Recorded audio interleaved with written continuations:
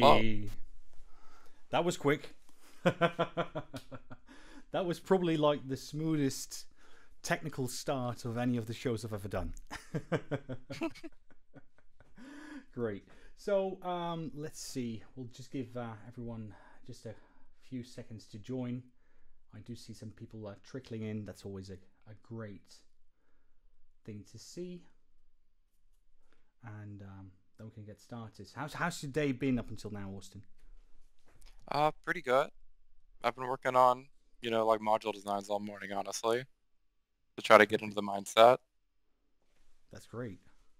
Oh, perfect. Um, we will need to uh, dive a bit deeper into that, uh, of course.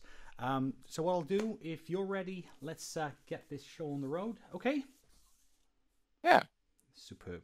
So then I would say, uh, everyone, welcome to the Modular Clubhouse. And in today's show, we are joined by a very special guest um, who was just, well, actually embarked on uh, on, on on his maker's journey, so to say. And we are joined by the one, the only, the man, the myth, the legend, Austin from Pluton Modular. Austin, it's great to have you. Thank you so much for joining. Thank you for this opportunity.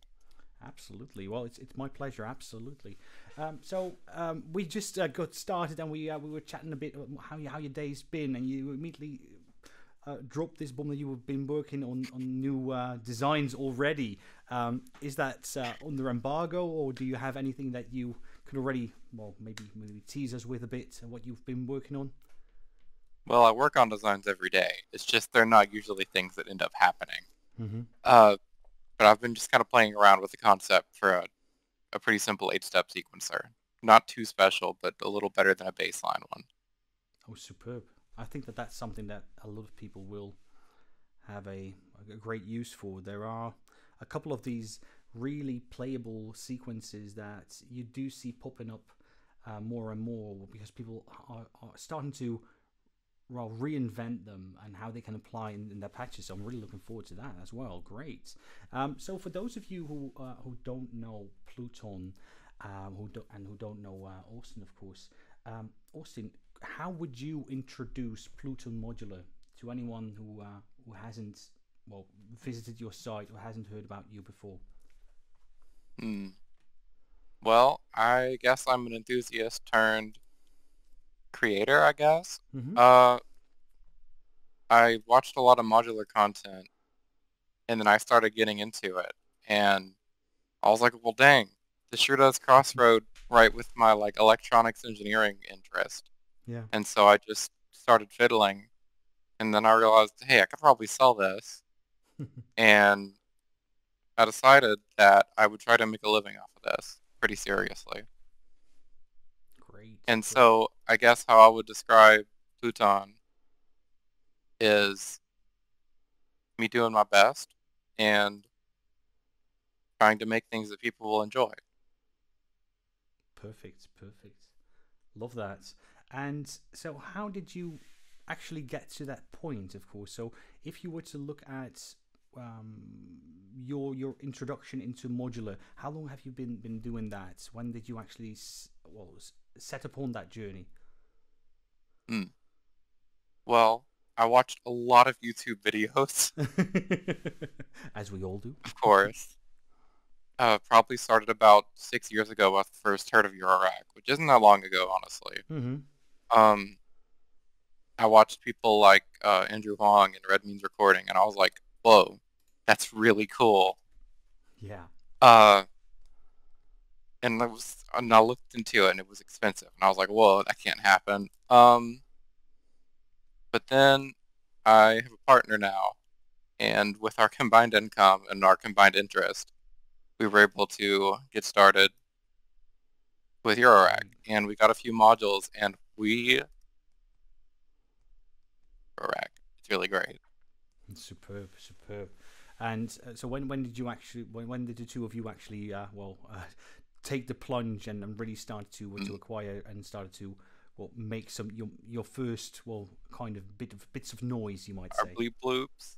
Yeah. Uh, honestly, not that long ago. Probably no more than a year ago. Great. Wow, that's great.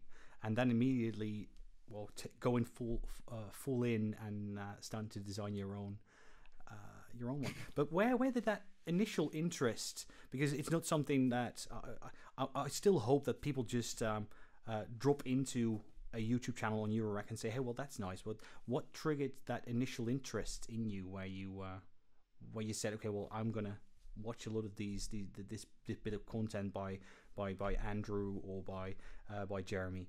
Where did that come from? Is that something that, that you evolved into or where you grew into? Hmm. I guess if I have anyone to thank, it's the YouTube algorithm. uh, I've always been interested in like electronics and music, and so when that popped up, I was like, "Huh?" Because it's kind of both, and it, I love that about it. I can imagine. I can imagine especially if you say, well, if, if you are into music and you have a an electrotechnical background, then well, uh, then one and one is always greater than its parts, and it's probably going to be three. And then yeah, the, the YouTube algorithm uh, chose wisely, you might say. And that, they really did. Yeah, yeah, perfect, perfect. And from from from a musical perspective, how where, where where did you come from? What was the kind of music you were listening to growing up? What kind of music was played at home? uh, when you were younger? How how did that all came to be? Hmm. Okay. So, course, I don't have that much experience with music, mm-hmm. but because you know I'm only I'm only 23, but uh, the music that I have had experience with, I tend to enjoy kind of like more upbeat music. Mm-hmm. But I also like I don't know. I don't really think I have a taste in music. Uh, growing up, I only heard pop songs to be honest. like whatever was on the radio. I never yeah. when when I was growing up went out of my way to listen to music. But now I kind of just kind of listen to whatever still. Mm-hmm. But I don't know. I think the direction that I prefer is more like making fun soundscapes than aiming at musical musicality. Mm-hmm. So it's more like where you say, well, uh, because I, I, I honestly don't think that there is such a thing as don't having any musical musical taste. I think that that just means you've got a broad interest in music, um, yeah. where you where you might want to uh, change your palette from, from from time to time, and I think that that's always a, a very healthy approach to music. And do you then think that because of that that broad interest, that that has then drawn you towards design when when you're making music yourself nowadays, where you say, "Well, I want to create these musical soundscapes." Um, just make make sure that we are on that level with with sound design and making sure that something the, the bleep loops you might say uh, sound exactly like you want. Is is that because of that broad interest, or is that something where you say, "Well, this is this is purely something intrinsical uh, that that is you," or how how do you look at that yourself? Mm-hmm. Uh, wow, that's a tough question. Yeah. Um. hmm. It's almost philosophical, you might say. Yeah. I'm not really sure if I can answer that even. Otherwise, uh, we'll just park actually... that and just think about it. No worries, no worries.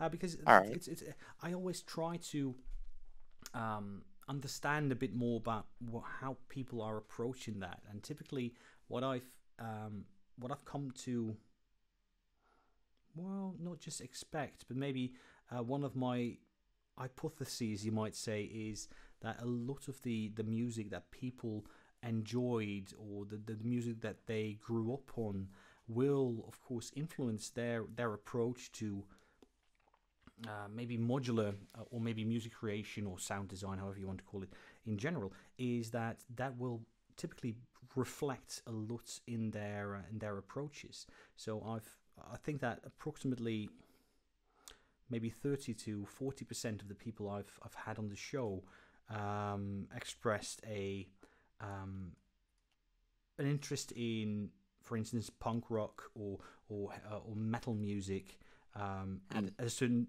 stage in their life, uh, or maybe they still have that, uh, myself included, and you then typically do see some of that being reflected in how they approach modular or Eurorack or, sound design in general. And what I've also come to, well, hypothesize is that uh, people with a very open mind towards music do tend to get into the the actual beauty of sound design, and that typically is then presented in a, in a very aesthetic approach to to modular, uh, which would then typically be things like like like, like ambient soundscapes or, or pure sound design approaches. So that's that, that's that's the hypothesis I'm trying to test here.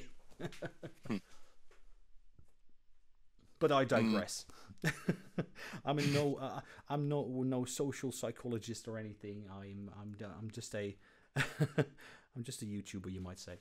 Um, but coming from, from, from that approach, you also mentioned that you, you've got a at least an electronic technical well background or at least an interest. Uh, uh how did that? Yeah, more of an be? interest, I'd say. Hmm? Yeah, more of an interest for sure. Mm-hmm. Um, because you know I'm not like classically trained in it, but okay. Um, honestly, this might sound a little conceited, but like I kind of always been interested in it. Like even yeah. when I was a little kid, I was one of those kids that like tore all their toys up and got in trouble because I wanted to see how they worked. And you know, everyone has this story, you know. Yeah, no, but and still, so that yeah, just kind of great. evolved into like digital electronics. time I was in high school, and now I'm learning about analog electronics for modular stuff, and it's honestly a blast. That's great. So, what what, what are kind of things that you did? uh, in high school or maybe even after that. Uh, what kind of projects were you working on? Uh, my high school actually had an engineering program where there was this one teacher who was kind of at the end of the school and kind of like not paid too much attention to by the school itself um, they didn't care about the program because we're in the middle of Alabama and that's just not the interest here at sports. But um, Sorry. Uh, yeah, no worries, no worries. That teacher was in charge of all the like uh, engineering classes. So there was like CAD design, electronics, a few uh, other other classes like that. And I would just skip classes and go hang out in her classroom and play with all the because they had like sleeves of ICs in the back room and like soldering equipment and stuff. And I would just hang out in there all day. And my the, the other teachers hated me for it, but I did not care. Mm-hmm. And you just uh, went there. That that yeah, being your around all day. Yeah. That being your your your your art room, your the the place where you could create, of course. I would definitely call it my safe place because I did not have a great school life. Nah, sorry to hear that, but then I'm happy that you had at least that that yeah. place where you could indeed, on the one hand, develop your interests and have something where you can say, well, that's actually some some place where I actually felt safe, and that's something that I think everyone should have, of course. Um, but how did that then evolve? When what did you uh, end up doing after after high school? Did you pursue a uh, a future in, in electronics, or how did you then came to be mm. where you are? Okay. Currently? Yes, actually, I tried. Mm-hmm. Uh, I went to our local community college. Of course, I'm in the United States, so college is expensive, to say the least, mm-hmm. even community college. So I could only afford one associate's degree, which is a two-year program. Yeah. Because, God bless her heart, my Nana, who's passed, had started a fund for me when I was a child so I could go to college at all. I'm really thankful for that. I can imagine, yeah. Um, so I started like I'm going to get an engineering degree because that's what I was interested in. Mm-hmm. And so I took one semester of that, and it it it was wrong. It you know it was like this is engineering degree for get job at factory and install yeah. a capacitor. I was like, this is not. I wanted like electronic engineering, mm-hmm. like and so I switched majors, of course, to graphic design. Okay, well that that's something that that that is related to that, of course, because that is something that you need to be because uh, if you were into if you're into IC design, then graphical design yes. is a very applicable skill to have, and I also very useful yeah. for panels. I absolutely, of course, yeah, spot on, absolutely. But yeah, I honestly I'm kind of glad I switched it though, because if I didn't meet the people I met through the art program, I would not have been happy today. And that's of course, well, th- yeah, that that's that's Yeah. probably even more important than anything else, of course, yeah. And how did that then? Do you then think that combining those, let let's say three interests that you then have, of course, um, 1st Mhm. off, starting off, um, you were in a, a very healthy and, and, and safe environment in, in the graphical design uh, environment. Um, you're Mhm. happy then, and then you start to go back to those three pillars that you then had, and that's of course the the, the musical interests and the musical well, hunger, you might say, combined with that in well the intrinsic draw towards electronic design or Mhm. electronic engineering, you might even say, combined with graphical design. If you now say, "Oh, hey, well, I have someone who wants these three things," I only have one piece Mhm. of advice for them, and that's going into Eurorack. So I think Right. that, uh, I think that the the, the, the YouTube algorithm uh, sorted you nicely. Yeah, the first time I saw it, I was like, "Wow, this is fucking perfect." Yeah, absolutely. You don't need to have a sorting hat for that. No, absolutely. Mhm. Uh, that's the first time I made a Harry Potter uh, reference, by the way, in this show. um, I should do that more often. But that, that, that I, I love to hear those kind of stories, those kind of well Genesis stories on how you actually got started with that. And um, if we then fast forward to to where we are today, so I've been um, well, we've been talking, of course, about the um, uh, the Envade. Uh, probably, um, I'm not even Mhm. sure if that's the right way to pronounce it. How would you pronounce? No, it? yeah, that's it. How I pronounce it at least. just Envade. Yeah, the the arcade Yeah. plus envelope. Um, yeah, it's envelope and arcade portmanteau. absolutely. So I'm just gonna paste that into the companion channel. It's actually um, and actually not up for sale right now. No, but still, uh, it is a it's a it's, it's a testament to um, to what you what the design language is that you that you apply, uh, but also a bit of the the approach that you've taken towards well uh, modular design as well. So I've just pasted it there. Um, right. could you tell us a bit more about how that came to be? How um, how did you, on the one hand, decide? Well, this is this is going to be my first module. How was that journey for you? Okay. So I gathered advice from the wonderful pe- wonderful people on the uh, the Wiggle Room server, which is a server that's an offshoot kind of Discord server of ModWiggler, Hmm. which I found when I googled Discord servers. Yeah. Uh, they're all wonderful there, and they kind of took me that last step from looking at Eurorack modules and getting them and being like, "Whoa, this is really cool," to making them because they're so knowledgeable and kind. But um, yeah. to answer your question, I was just looking at the market, really looking at uh, man, what's that website called? Where you can like assemble your rack online. Oh, modular grid. You mean? Yes, sorry, Modular Grid. I was looking at all the modules on Modular Grid and looking on Etsy and Reverb, and I was like, what's missing? And I saw these arcade button modules, and I was like, well, these are pretty cool, but they sure are mostly just buttons connected to the power rail. Hmm And so I was like, what if I just put a little slew circuit on it? That sounds like something that would be easy enough for my first analog design and usable. And so I did. And then I made it 9 HP. And so that is why it is no longer on sale right now. Because I have redesigned 8 HP panels now that I have more knowledge.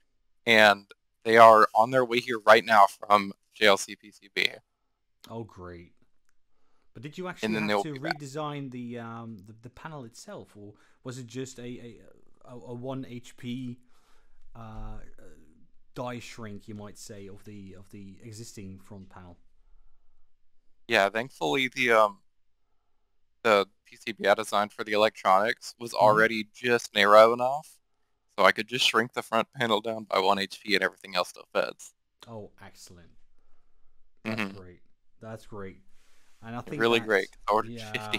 and- well, one of the things I, I I really liked about it is, um, on the one hand, it it it just breeds performance. It just breathes applicability.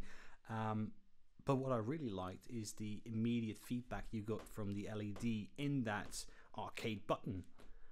Was there something that was already in that button, or is that something that you ha- had to design yourself? I was looking for buttons to use, and then there were LED buttons, and I was immediately like, "Oh, okay, well, we have to use this," because it was just so cool. Well, yes, it was. It, it's absolutely. it looks freaking awesome, absolutely. Mhm. But it also has that immediacy of visual Yes. feedback on. Okay, well, how how is this envelope then? How did I design this? Did I design this to be extremely snappy? Is this going to be a um, a, a really well, slow approach? But you get that not just by listening, but also by by, by, by watching it. Mhm. And I I'm probably one of the um, the minority within Eurorack that uh, responds better to, uh, to to visual feedback than to uh, to auditory feedback, and that's why I, I immediately saw okay, well, this is something that you can indeed use because you don't need to use your your scope to see what you're doing.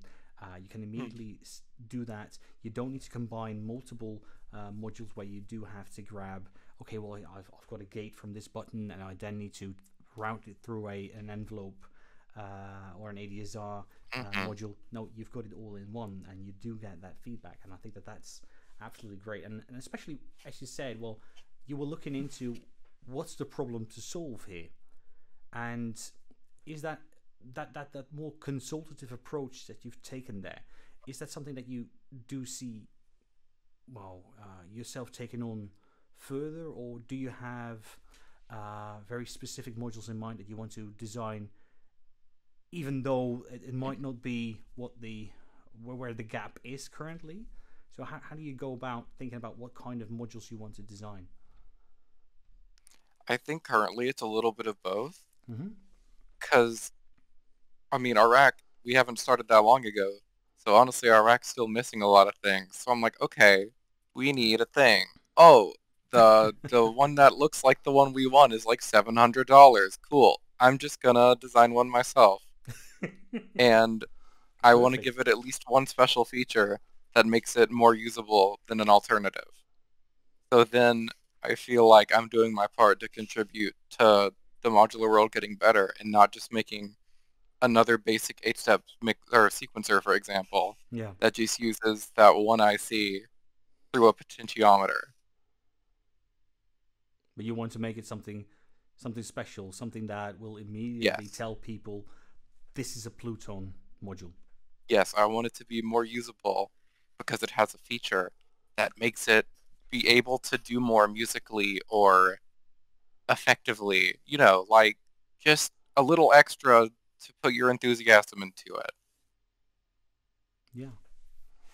I uh, I think I, I think I, I think I get what you mean where you say okay well it's not going to be you're not going to go all out and, and redesign the world but you do want to make sure that you approach it again from that consultative approach that you well um, you've oh, apparently applied to how you uh, how you designed the and the Envade um, by taking that, that look at what what's missing what what problem can be Right, solved yes. and if you then apply that to any other modular design where you say, okay, well, I'm going to create, well, that, that eight, let, let's use that eight step sequencer as a uh, as an example, uh, because as you say, well, there are a plethora of um, eight step sequences out there, but hmm what is actually the the problem that people want to solve by using one of these and if you then make sure that that that the functionality and the features that you that you offer the actual users is going to make life easier for them or solve one of their problems then of course yeah then, that's going to set you Mhm. apart So uh, not to um, to put you on the spot here, but uh, what have you already? Do you already have those ideas about, for instance, the eight-step sequencer? Yes, the problem I have with eight-step sequencers is they're either completely massive or they're like this little digital thing with one encoder, and there's no in between, and that makes me so upset. like, that. what if I want a medium-sized eight-step sequencer that has a lot of features, but isn't just like, you know what I mean? Mm-hmm. So when you're thinking about something like a, a six or an eight HP uh, size, or what kind of size are you thinking about? The current size that I'm thinking about is like 10, 12 HP, which is pretty big, but, yeah, but still for you have to think about all the components are breaking up are broken out onto the board. You get eight potentiometers, eight step enables. You get you can interfa- interact with it with your brain and your eyes and your hands, Mm-hmm. And it's not a menu at all. No, it's Everything's it, right there on the panel. and it's Of course, this is you just immediately see theoretical. where you at. You you, you have that. Yes. And the beauty of that is, of course, it's it, it it's got an analog memory. If you turn off your um, your rack and you turn it on the next day, it's still going to be there. Hmm. Oh yeah, because it's on the potentiometers. Yeah, yeah. Which is also uh, part of the well, what, what certain people um, come to understand as being true modular, where you say, okay, well, the the rack remembers, um, which is of course not true for all digital modules, of course. Of course, I'm not opposed to digital modules. No, absolutely, because well, I think even in even in my rack, I think that it's going to be a 50-50 split even, and um, I think that even within the digital modules that I have, um, it's predominantly uh, modules that will remember where what the settings were, uh, but I do have certain modules um, that will need to be reprogrammed ev- each and every time. Um, one of my favorite um, combinations of modules, and I've, I've, I've, I've done an interview with um, with the with the actual maker as well, was the combination of the the Fraser and the two OPFM by Super Synthesis. Uh, and the reason why I love that is because it's, it's extreme. It, it just it invites you to play with it. Uh, but anytime you do create something extremely special, once you turn your uh, your rig off and on again, you're gonna have uh, you, you're gonna have to redesign it, or at least well, uh, you'll have to reprogram it again. And that is, of course, well, it does add to the the happy little accident that only happens once a Mhm. blue moon. Uh, but on the other hand, sometimes you do want to get something that you can write down, save, store, Right. and recall later on. But that's just one example, and, and don't get me wrong, I still love that combination. Of course. It's, it's, it's still whenever I'm down in a rut, I just uh, I take those. Uh, I've got two phrases and one uh, and one uh, two OPFM, and those three together, I can just I can literally spend an hour um, just making sure that I, I've got something, and then I can just lose track of time until it's well the, the sun's coming up, and I need to say, okay, well, geez, I, I might need to go to bed, um, because it's, it's it's just that in, interesting. So I'm really looking forward to your uh, thoughts and your take on that eight-step sequencer. Um, that absolutely. Thank you. And and what are some of, course. the other uh, uh, ideas that you've been playing with? And I uh, I will have to ask all of the listeners right now to not take Austin's ideas and run with them. Um, these are all shared under the um, the well, well, you might say the um, the NDA that's um, that we all uh, uh, well shook hands on the moment you start to listen to this show. Oh yeah, that one. Um, I actually do have some beans to spill. Ooh, wow. Of course, I've already spilled them on my Instagram, but like, I'd like to talk about it anyways. Mm-hmm. Um, I have another module coming out like really soon. Like this prototype might be the last run of it because it's it's feeling pretty close. It's probably the fourth iteration of the prototyping. Did I miss Uh, that on Instagram then? Ooh. It's uh, it's my mixer. It's Oh yeah. it's called Hot Cross.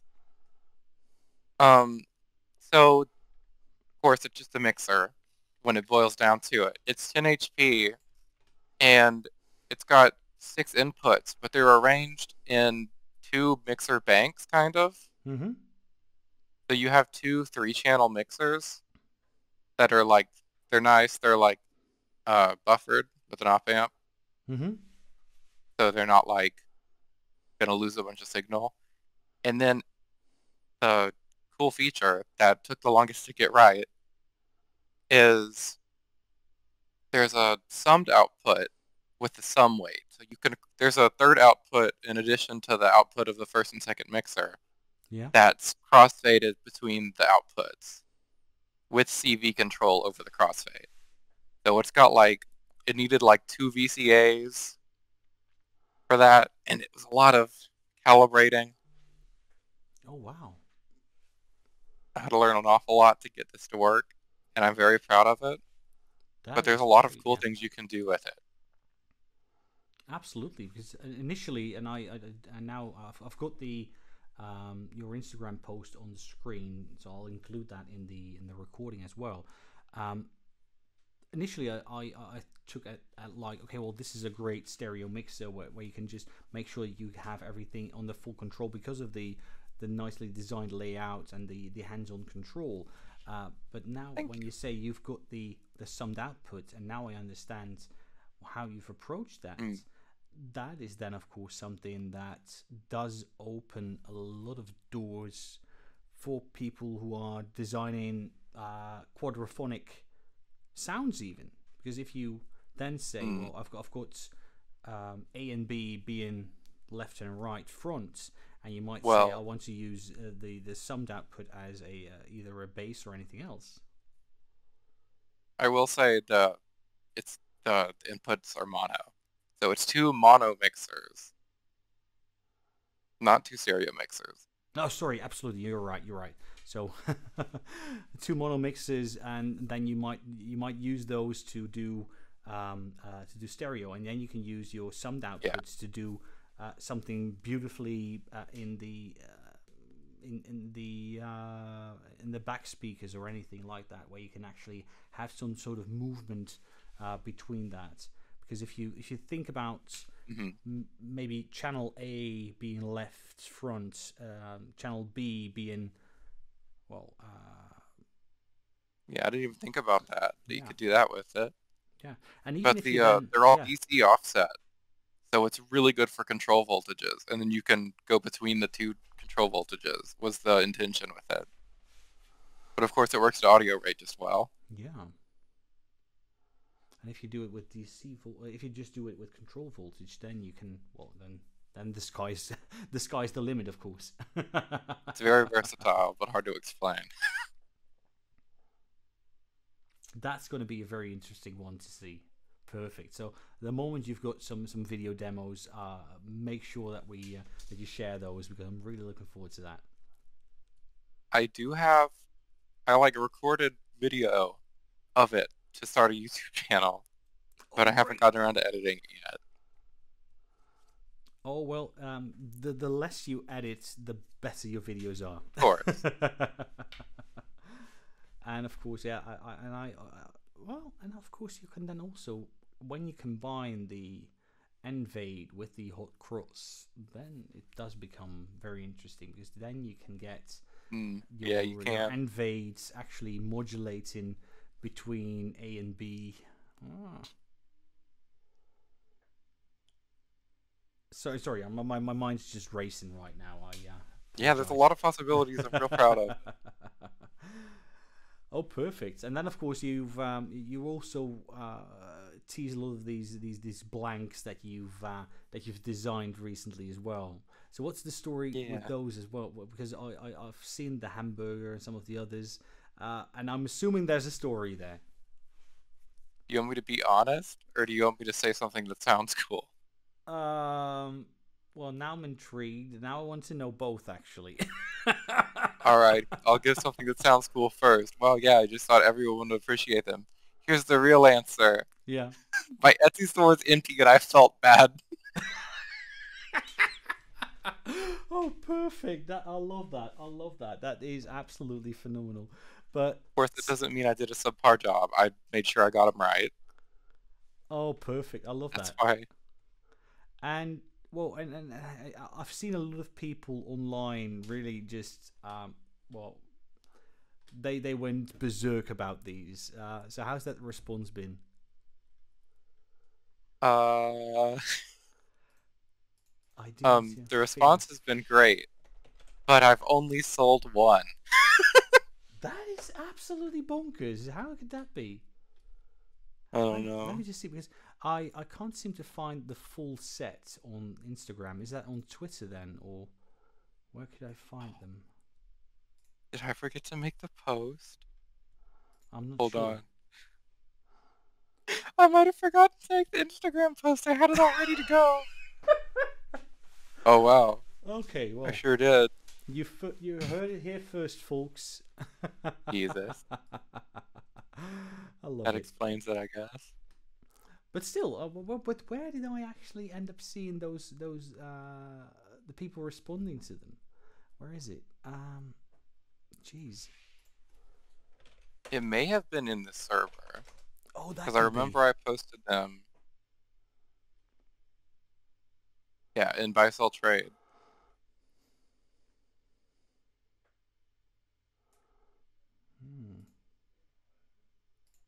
Let's see. Buy, sell, trade. Oh, is that it? Oh yeah, there you go. Yeah. So you've got the hamburger, the, the I think it's supposed to be a dead fish. It's a little sardine. They're food themed. So we got a hamburger, we got a sardine, and we got some peppers, and then a straw because I couldn't think of anything else to put on the smallest ones. Mm-hmm. And then the last one just has cool dots on it. Sprinkles. And of course, they all have a professional side, so they're not just silly. No, but I, I, I- do seem to, I do love them, and then and then and, the, and then the food theme. So even though you said, well, okay, well, um, you needed to have some blanks, and this was your being you being creative, uh, but where did the food theme come from? Honestly, nowhere in particular. I was just like, you know what would be cute? Little food panels. well, but still, that that's exactly what people need. I've I've seen, I've seen quite morbid. Um, uh, the, who was that? Uh, There's not enough cute things in Euro Rack. Well, yes and no. Yes and no. I uh, yes, there are. I know they exist, they- but there's not that many. Oh, what was it? Th- There was this module. Um, I ran into it once, and this was like the brightest, um, most over the top module ever. But now I forgot where, wh- which one it was. And it was it was yellow, it was pink, it was all over the uh, over the color gamut, you might say, and uh, but I think it was out of production. Um, but one of the things that I've been I've been talking about on the on the channel as well is to bring a bit more color into Eurorack, and I think that uh, companies like uh, like Dreadbox, for instance, um, Mm, have yes, I love their aesthetic. yeah, that plus they make things very affordable. So I think like Mhm. their uh, their cheapest module is uh, something like fifty euros, uh, probably the same uh, amount in in American rubles, um, and um, and all the way up to a hundred maybe something like that. Mm. So on the one hand, they have brought a lot of color into, well, into racks in general, uh, but also make make sure to uh, make it very affordable.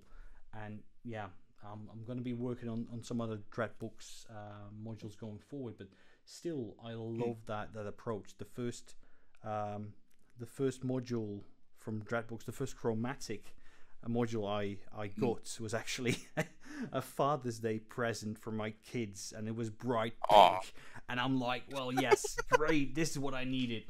and yeah, and I, I absolutely adore them for, for doing things like that, making sure that things are, are bright and and and, and, and well, uh, cute or uh, or vibrant or lively, um, because yeah, there is of course this this ongoing battle between uh, black panels versus silver panels, uh, but I'm on team color in that regard.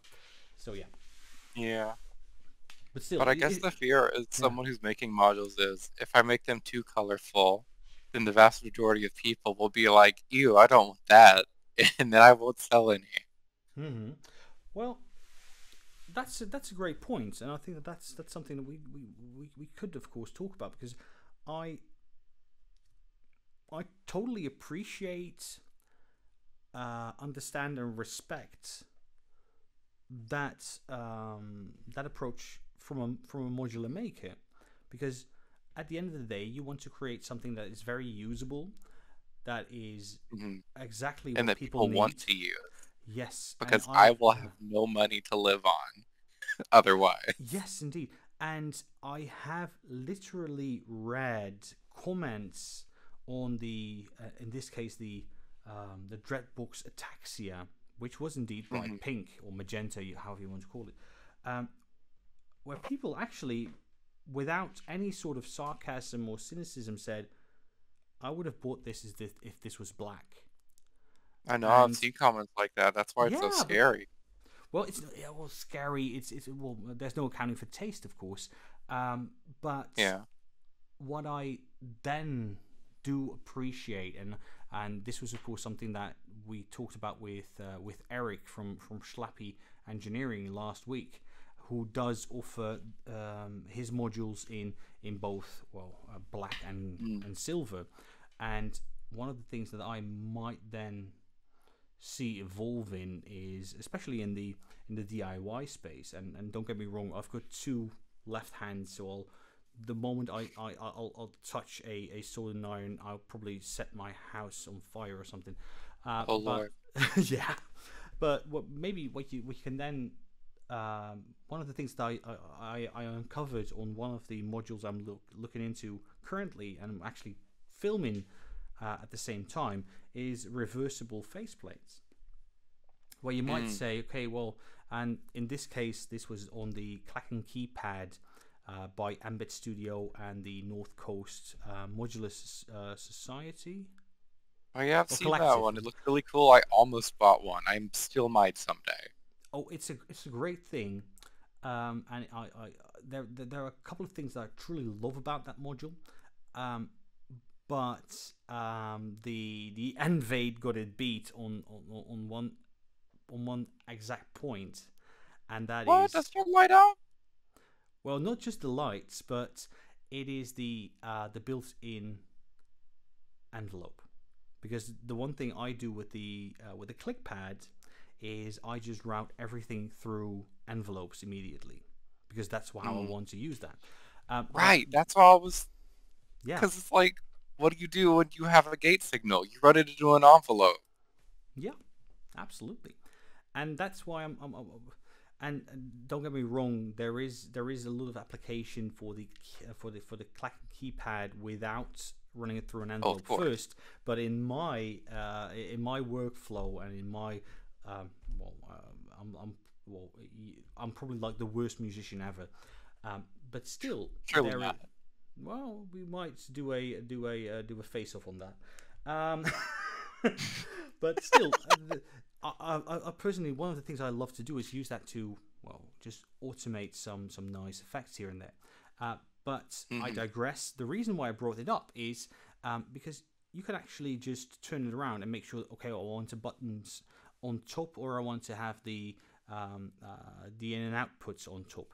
So if you just reverse the the front plate, the the, the front panel, you can actually have that um, have that as well. So you'll have to just flip the front panel, and you'll have to well turn all of the keys uh, 180 degrees, and you've got that that that, that solution for you.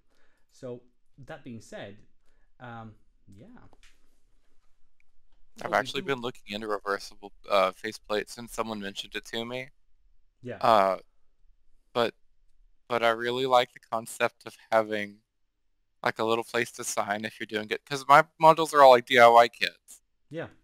Are available as DIY kits. You could have assembled too, but I really like the concept that you can write your little name and like when you assembled it on the back of the panel in little spots. Mm-hmm. And so I've been doing that instead. I might switch over to reversible faceplates in the future just because of utility. But I think it's very fun to be able to put your name on it as the person who assembled it.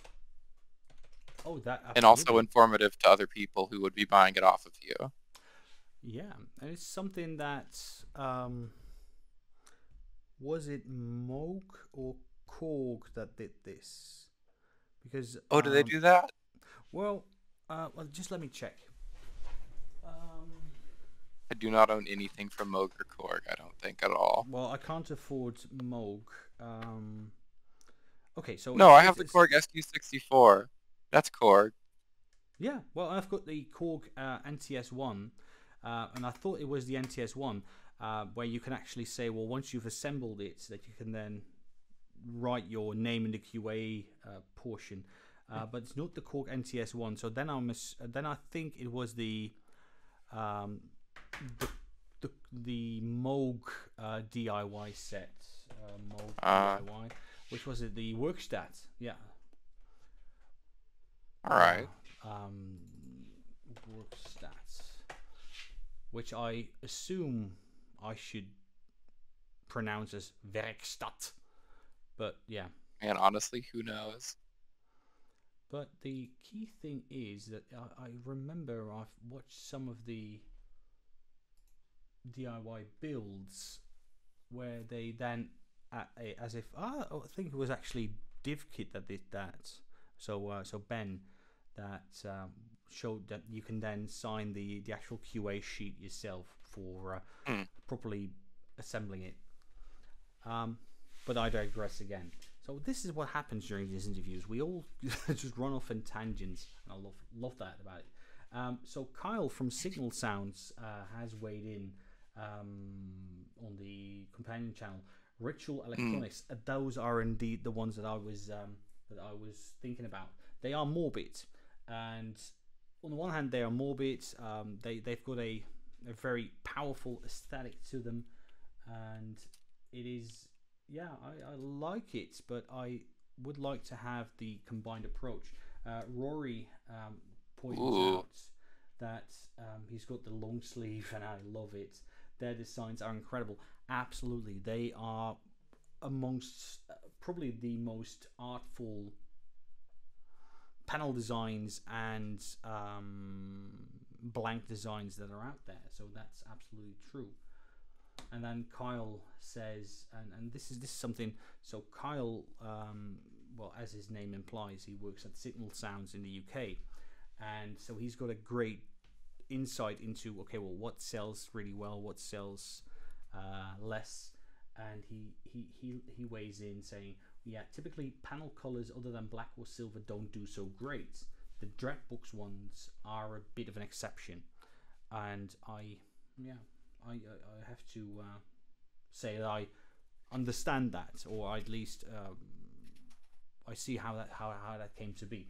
But then, of course, if you then have a reversible faceplate where you might have one colorful side and maybe the other side being black or, or, or silver, Mm. I think that that would be a very good compromise, even. Um, with That one, could be something in the future that I might be able to do, but currently, uh, I have like PCB panels going on, so getting a different color on the other side wouldn't be feasible for me. No, of course not. Of course not. But if the if that ever does happen, please make sure that people with two left hands can also just uh, swap the faceplate themselves, Of course. and you don't need to have a uh, an engineering degree to do so. I still need to. Um, I, I'll, I'll probably just still need to make sure that I give a DIY a, a, a try. Sometime. A DIY, a DI try. a DI try. Yeah, I'll, I've been. so I've- I've- sorry. I've, I've been. I've been talking to um, uh, to Paul Paul Tuss from Error Instruments, and then they run workshops, and I've been talking to uh, people like Manu from Befaco, and they run workshops, and I. I, I'm just afraid that I'll lose a lot of credibility if I go in there and just burn the house down the moment I touch a, Oh, God.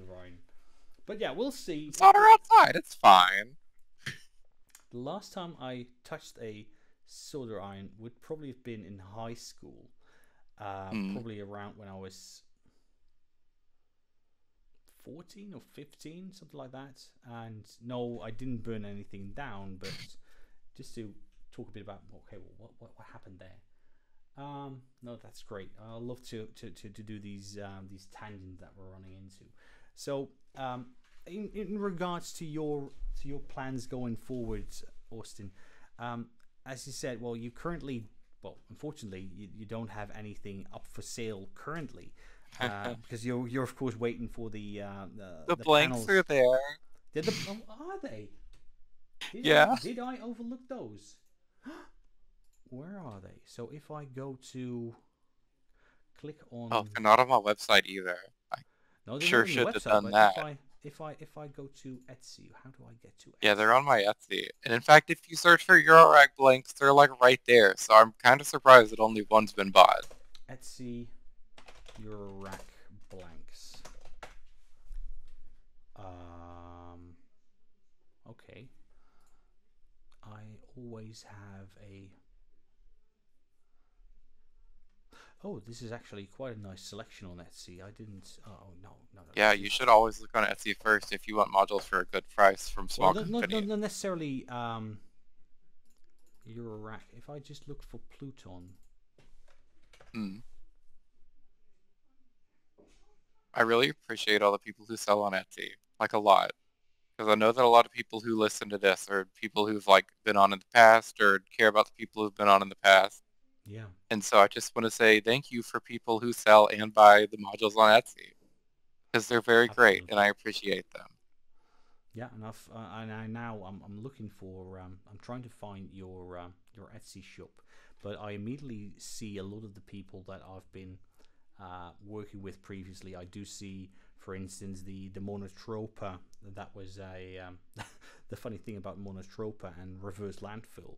Um, the guy actually just lives like a couple of couple of miles away from me, and No um, way, that's yeah, crazy. well, it's it's it's it's it's it's an odd small uh, small small world, you might say. Um, and then oh, I why can't I, find? channel. Hmm? I posted it for you in the companion channel. Oh, thank you, thank you, thank you very much. That is exactly what I needed. So there you go. Here we go. So I need to wait for. Oh, it probably shows up so fast in the search for me because it's local. Is that it? Of course. Yeah. Yeah, this it is says local seller. Oh. Okay. Jeez, my my my in-laws are making noise here. Um. So okay, so you yeah, so you don't have a full set of all of them that you then. Oh, nice. Oh, that you can get all at once? I don't know. I guess I could make that an option. Yeah, that's nice. Perfect. Great. No, I'll, I'll I'll make sure to have this on the um, uh, on the recording as well. That's great. Uh, but then, of course, well, uh, you're waiting on the other uh, panels for the uh, for, for, for the for the Envade, of course, and then you're working on the um, oh, what's the, oh, sorry for this. The hot cross. It's called Hot well? Cross. Yeah. Um. Okay. So yeah, the panels for Envade and the what's coming in for Hot Cross is um. Hmm. My brain just turned off. Uh, the one that isn't the front panel, just like the main board. Okay, yeah. Yeah, that's what that's what's iterating. The front panel design for it's like done. That's why I posted it. Um. Superb. And then there's also another module I didn't mention earlier that I'm working on, but it's not exciting is why. But it's just like an input as an output attenuator. It can go from like 120th voltage to 20 times. It's got like two mono channels and then stereo jacks if you want to do that. Well, and that's that. Just those are the nice kind of utilities that you need, right? Yeah. Of course, yeah. That one's straight up because our case we have a nifty case. God bless them. It's nice. The MIDI's really cool. The output's mono. I've got one here as well, and it's it's it's it's one of the um, the the standard guests in my videos because it's it's nice, it's portable, and it's uh, it's a great thing, and it is. I would probably say the most dangerous thing there is. Well, economically, you might say, because it is that gateway drug into Eurorack. hmm That's the first thing we got. yeah, absolutely, and uh, still, I, I love I love the thing to pieces. Even even the, the the modules that are not unanimously loved throughout the Eurorack community. Chips is still- okay. No, but even even even even cells. Come on, it's it's it's great. It, it, it does what it does. It's it- great, except when I went to update the firmware, it blue screened my partner's computer every time I oh no! plugged it in. I It's, heard it's a little I heard about that. problematic. So I've been I've, Uh. I've been talking to the, to the people over at um uh, at uh, uh, what, what, it Create? Audio? Cre8audio, and they Ooh. they they gave me some uh, because I had some trouble updating. I'm not even sure whether it was the case or one of the modules. Uh, so they they just uh, sent me some some some beta firmware update tool. And they've been Oh, so no extremely helpful. So uh, if you have any trouble with updating, uh, please do not hesitate to reach out to Cre8audio directly. They have been a Oh wow. they've been they've, they've been a dream to work with. Absolutely. Alright, dang, I'll definitely do that after this. Well, and that that's of course also part to the to the comment you made earlier, um, where you said, okay, well, I'm on the on the, the Wiggly Discord server, um, The Wiggle Room, the Wiggle Room. Sorry. which just so Uh, happens to have a similar name to me, not related. Sorry that. Um, but it is absolutely true for the well the, the the predominant amount of people within Eurorack.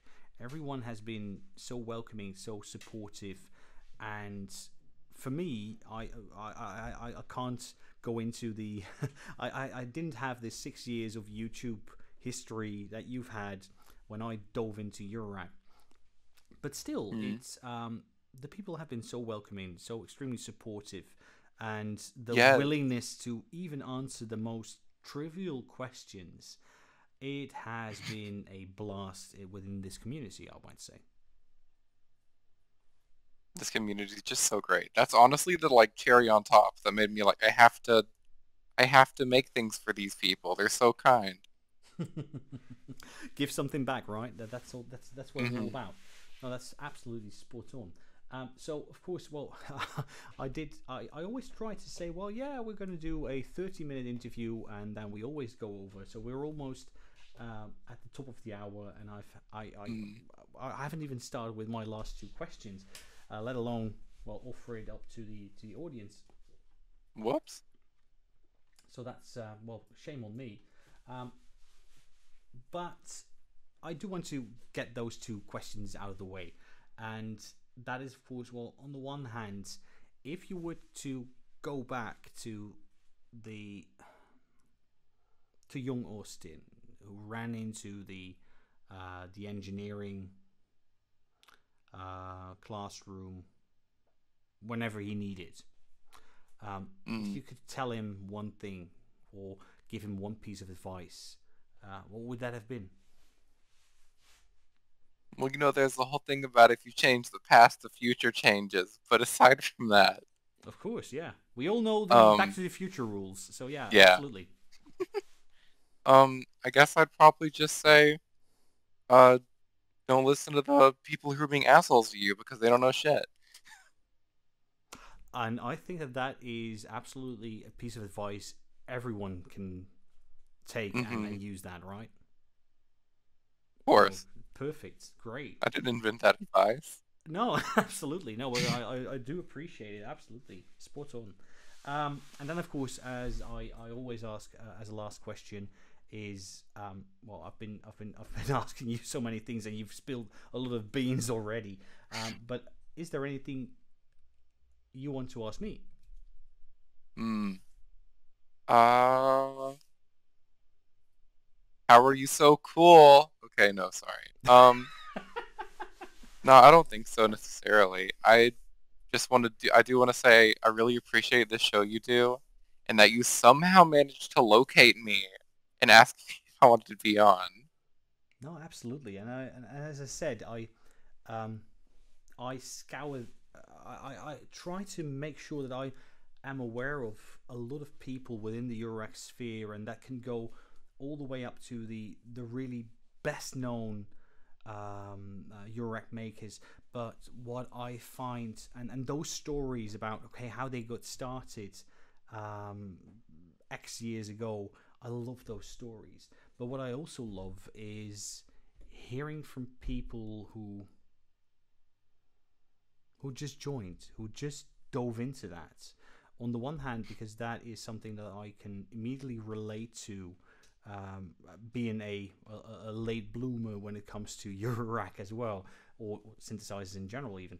Um, but also because that is where a lot of the the out of the box thinking is happening, and I um, I might I might I might even want to point out, for instance, um, a company like uh, so that's Nico out of out of um, uh, out of the Alps here in here in Europe, and he he got started really late on as well, and he created the Mandala, which is probably like the biggest Eurorack uh, module I've ever seen, and it was so refreshing. And I, I, I then compare that to how you've captured a lot of the the requirements that people had in the Envade as well, and that then triggers me to say, okay, well, how has someone um, who describes themselves as being not just uh, uh, not just young, but actually young, uh, because that, that that's how you position yourself as well. Being oh, I'm young, I'm unexperienced, I I have so much to learn, but then you design something that really well uh, ups well not just upsets, but uh, is quite revolutionary within Eurorack and I want to come and understand that journey and the um, and the evolution you went through. I would say, and yeah, that, that that's that's that's probably what triggered me because of course there are a lot of people out there that that make their oscillators or that might make a, a filter here or there, uh, but making sure that you have something truly innovative by combining simple building blocks and making sure that you can then position something that will solve a lot of problems for people within Eurorack. Now that's great. That's a gift. Dang, you're gonna make me cry. No, uh... I don't. That's not. That's not. That, that's that's the last thing I want to do because we want to make it nice and, and, and upbeat. That's what we wanted. That that's the kind of music you like as well. Make it upbeat. Absolutely. No, great. No, but that that's that's a good um a good question. So that's typically how I approach this. Uh, so yeah, of course, I do reach out to the um, the better known uh, names out there in Eurorack, but I also want to make sure that for every household name, if there even is such a thing within Eurorack, I also want to make sure that I also focus on people who are just embarking on that journey, uh, because yeah, then then you reach the whole spectrum, right? And I just want to give everyone the um, well, not the exposure because I hate that word, but the the attention or the uh, might even say the respect that anyone within the maker sphere deserves. Yeah, so I don't want to make you cry. Don't apologies for that. um, so with that being Happy said, cry. so with that being said, um, if anyone within the audience has any questions uh, please feel free to raise your hand and I'm going to grab you up on stage. Um, if you are unable, unwilling, or incapable of uh, asking your question live, please feel free to drop it into the companion channel and we'll uh, make sure that we answer it straight away. Um, so I do. Um, okay, Kyle says I think another way to look at module design is rather than problem solving is to present challenges, not like bad UI challenges yeah. So I yeah, think you that's already yeah that that you a really cool way to there. look at it. Mm-hmm. because that's a give someone something to explore. I guess you mean Yeah, I think so. Yeah. that's a really great way to look at it. I never considered that like viewpoint. So where you say, instead of just trying to solve a problem, uh, you become the problem as a as a module. Where you say, okay, well, I I, I offer you all of these capabilities. I'm not going to tell you how to solve them, but anytime you want to do something, it's going to present you with something new. Hmm. That's great. Oh my gosh, I never considered that philosophy. So what would be a so the first module that would come to mind is something like maths, uh, where you Mm. might say, well, uh, uh, personally, I, I incorporate maths in as much as my, my patches as I as I can, and I've done a lot of creative things there.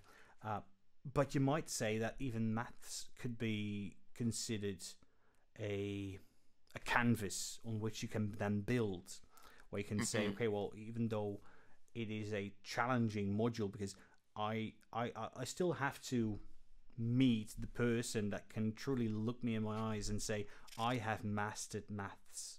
Uh, probably the only person that could do that is probably Tony from from Make Noise. Who designed it? yeah, at least I think. I mean, fair it. enough. Yeah. Yeah, or probably maybe someone from from from the Buchla area uh, uh, era. Um, no, that's a great that's a great point to make, Kyle. I, I truly like that. Any other um, questions, comments, thoughts, wisdoms? Yes, please send wisdoms. well, the biggest wisdom you already instilled in us, and that is uh, make sure you're happy. Make sure you choose that which ensures that as well. I love that. And uh, don't listen to bullies. Yeah, don't listen to bullies, everybody. well, absolutely. Perfect. Um, so, if we don't have any other questions, um, then I will again, uh, Austin, I do want to thank you uh, for joining. I, I, I want to thank you for all of the uh, the fresh ideas you bring to Eurorack. I want to thank you for uh, for your time. And um, yeah, any any any closing comments or thoughts? I want to hit you with that know you. Thank you for having me on the show and validating everything I'm doing. no worries, no worries. Uh, you're more than welcome, and and this, this is exactly why I um, why I started to do this. No, you're you're absolutely welcome. The the honor has been mine. Um, that being said, um, let's wrap this up. So I would say everyone, uh, whether you're listening to this show live, um, listen to this recording uh, on YouTube, or anyone who might want to take these these episodes and turn them into a podcast, uh, please feel free to do so because I am releasing all of these videos under Creative Commons. So if you have a creative outlet, how you want to uh, use these, uh, please feel free to do so. Uh, but um, as always, uh, just let me know. I want to know exactly where where the stuff is ending up on. Uh, but that's just a request, not a demand. Um, thanks again for listening. Make sure that if you have any questions for me or to uh, or, or for Austin, uh, reach out uh, to me via email at jesper at the modular modularclubhouse.nl. Uh, join the Discord server um, and, uh, and ask it there, or just leave a comment in the YouTube uh, comments below. And Austin, what's the best way for people to reach out to you with uh, with requests, questions, or comments?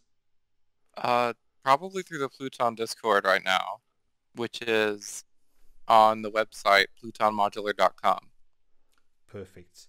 And I'll make sure to uh, link to uh, your Discord as well in the uh, in the comments as well, so people are capable of uh, making sure to easily join that with the click of a button.